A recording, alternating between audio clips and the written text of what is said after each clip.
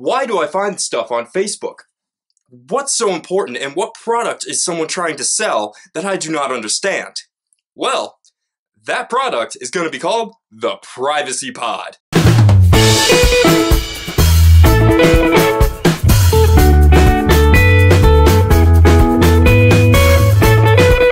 It's obvious you're pretty stupid. You basically look like you're wrapped up in plastic wrap with a little stand around you.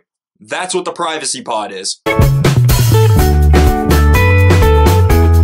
Now, if someone tried to close the Privacy Pod while I was trying to have a conversation with them, it'd be so easy to just knock over. That'd be hilarious.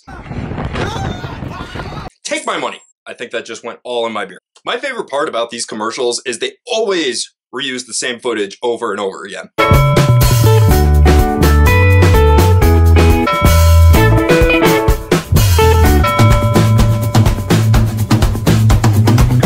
I was thinking I'd do some magic. You, Charles. Oh, oh, oh no. Oh, oh no. Looks like they've got that plastic there. Looks like I better walk away. Or, my personal favorite, you could just not go outside. So that way you wouldn't need to spend an ungodly amount of money because I'm sure this thing's expensive. It's $3.99!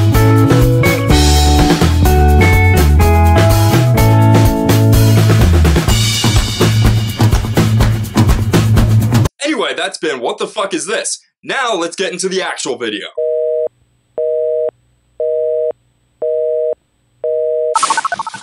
Hi, Vsauce. Chad Chattington here again. Let's take a look at some new stuff that I found on Dr. Phil. And this is the cringe counter.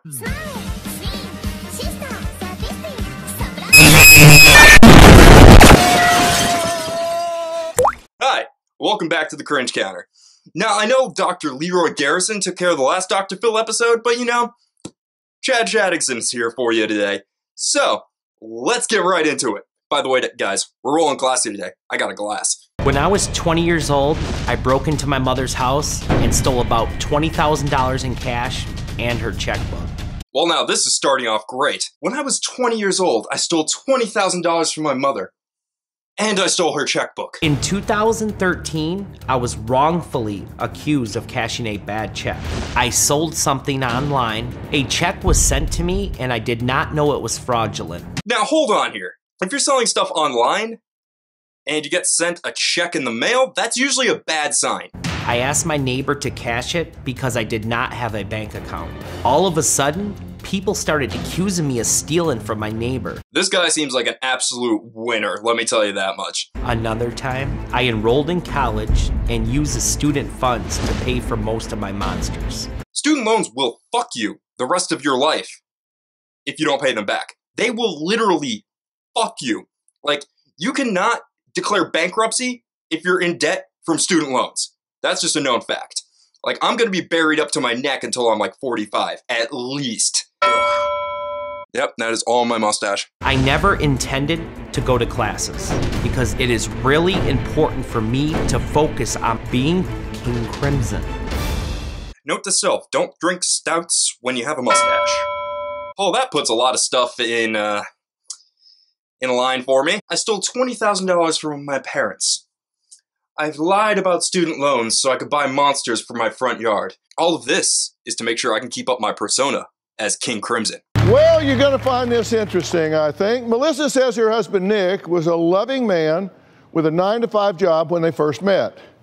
But shortly after they got married, he started painting his face with scary makeup, dressing like a demonic clown, and composing vile music about killing people. You do you, dude. I do me. You do you. I yell into a camera. You pretend to be a demonic clown. You're good. Now, Melissa says Nick now goes by the name King Crimson and believes that he is going to become a famous murder rapper. Obviously. It's that goddamn meme that everyone shares online. Don't worry, your life isn't that bad. There's still somebody you went to high school with attempting to become a rapper. Making fun of people for chasing their dreams isn't exactly the coolest thing, but you know, let's let's let's not cut this guy out immediately. Let's give him a little bit of the benefit of the doubt. Ain't no rolling with the twister. Step my damn mind, leave a ransom for your sister. As I hit the mic and I throw it on the asphalt. Body starts to twitch and I'm fiending from the basalt. What was that? Dude, I vouched for you. I tried giving you the benefit of the doubt. What was that? Actually, no, that's my fucking jam. And I'm rolling with the twister. Step my damn ma, leave a ransom for your sister. I think I found my new jam. What was that? Every time Dr. Phil opens his mouth, it's always the most savage statement ever. He's listening to the rap, just going, hmm, this is complete dog shit. I called the police. What was that? And I can back up Dr. Phil 100% of the way. What the hell was that? Melissa says King Crimson has taken over every aspect of Nick's life, and he refuses to get a job, spending all of his time posting scary videos online and decorating their house with monsters for his live broadcast, where he tries to convince people that he is the devil. The only God around of the wicked.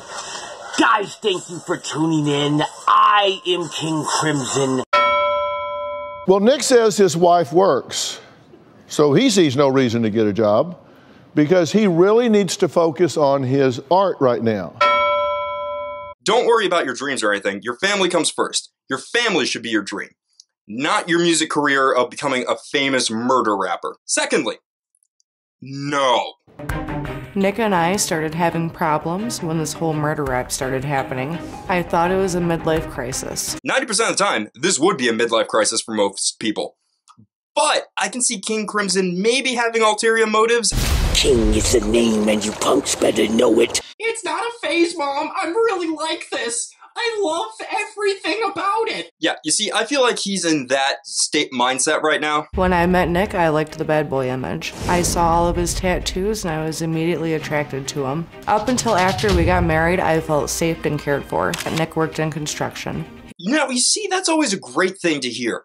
Oh, everything was working out great until we got married. That can also be said about, um, 90% of modern relationships. Oh my god, everything was fantastic. We were so happy.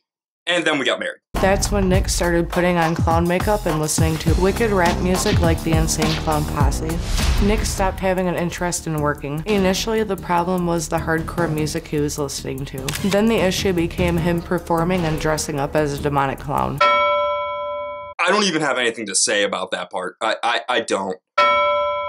Nick decided to name our son Crimson because of his rap name. This is my young Crimson. He is the new generation of the wicked. Kid's just sitting there like, Dad, what are you doing? What is this thing on my hand? I really don't care. I'm too young to understand all of this. But hey, ooh, shiny. So let's just dig a little deeper and try to find some stuff out, shall we? Well, Nick says he has spent between sixty and seventy thousand dollars building his image as a murder rapper. 60 to 70,000! 60 to 70! 60 to 70,000 dollars. And you have what to show for it? A yard full of monsters. Do you have anything else to show for it? Do you have like any mixtapes, any music released?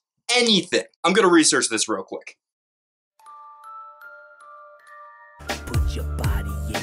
Put your body in a box like your profile picture.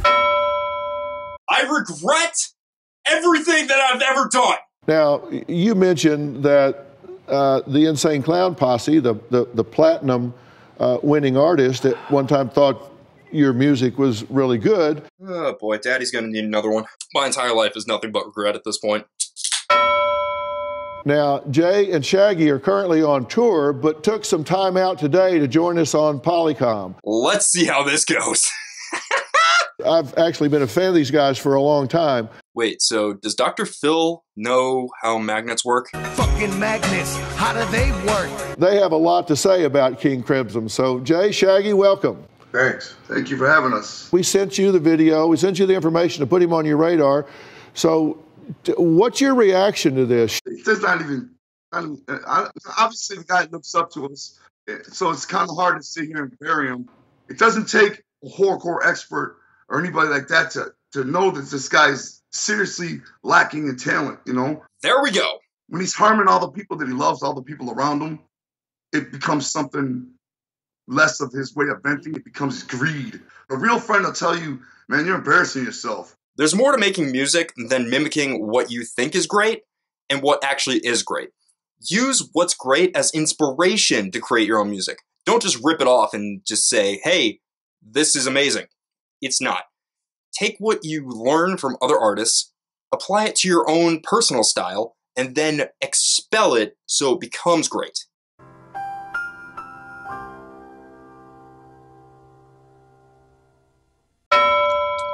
It's like 97 degrees in my room right now. This sucks. Anyway, thank you for watching. If you like the video, please drop a like on it. If you want to subscribe, please drop a subscription on there. And if you want to make fun of me in the comments, please do. I would love to hear what you people have to say about me. Anyway, this has been Chad Chattington, and this is another episode of The Cringe Counter. Cover.